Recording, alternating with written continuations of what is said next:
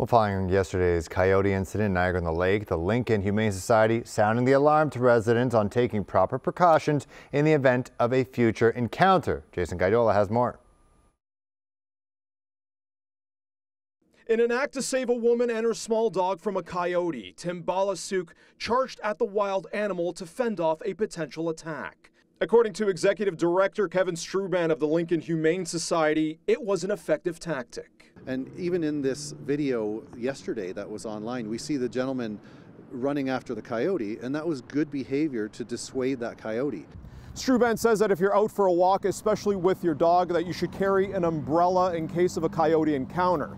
He says to use an open and close method to help startle the animal and avoid danger.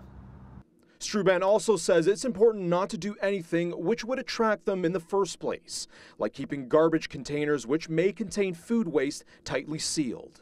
For them to realize that the humans are not their friends, not there to be trusted, not there to, to hurt them, nothing like that. They just want to make it uncomfortable so that the coyotes move away.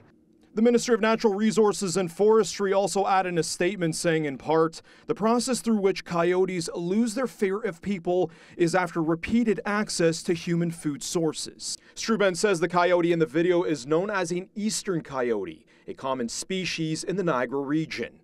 Typically roaming in areas like here in Walker's Creek Park in St. Catharines, Debbie, who walks her dog Max often, says she sees them all across the area in the park, the streets, and even in people's backyards. And then once we did see one just kind of walking across the street.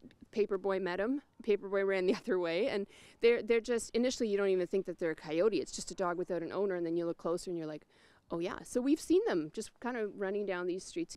Strooband says residents can report sightings to the Humane Society or to your local municipality. So people have, are thinking that the dogs are going to be eaten by the coyotes. They have no interest in that. They simply want to eliminate competition in their area for food.